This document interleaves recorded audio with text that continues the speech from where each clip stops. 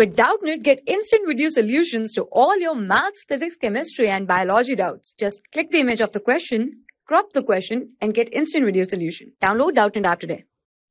The question is calculate the delta G naught and equilibrium constant of the reaction at 27 degrees Celsius.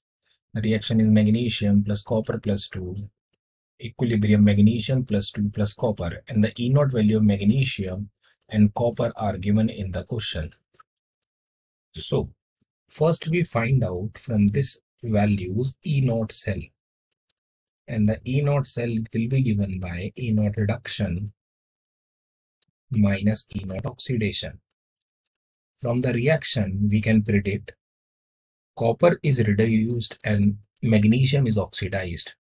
So the value of copper will be put in the reduction value and the value of magnesium will be put in the oxidation terms. So we get 0 0.34 minus minus plus 2.37. Hence the final value will be 2.71 volt. So this is the E naught cell.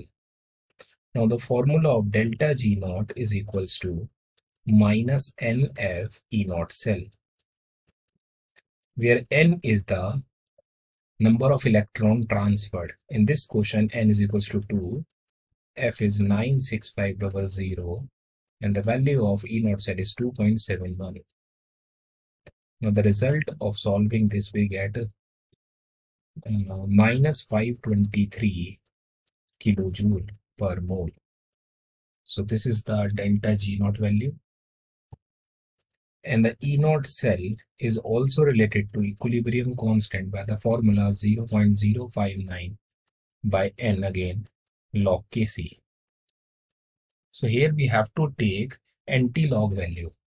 So putting the value of E naught cell 2.71 is equals to 0.059 by 2 again log Kc this will be multiplied to this and this will be divided to this we get the value of kc at approximately 10 raised to the power 92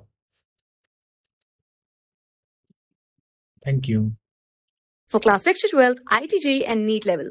Trusted by more than 5 crore students. Download Doubtnut app today.